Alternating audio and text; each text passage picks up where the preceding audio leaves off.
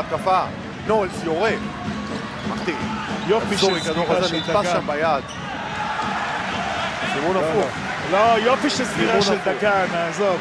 שריקה מאוד בעייתית. הנה, הוא גם נותן לו טכני. דגן יבזורי זה האחרון שאתה יכול לתת לו טכני. זה מלח הארץ.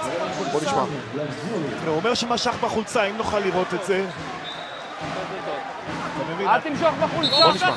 לא, לא. אוקיי, בסגירה על הריבאונד עם יד שמאל, כשאתה אתה מלמד כמאמן לתפוס גוף, אז הוא תפס חולצה. שריקה נכונה. שריקה לא נכונה. ברוח המשחק כן. אולי, כמו שאנחנו נוהגים, אבל שריקה נכונה.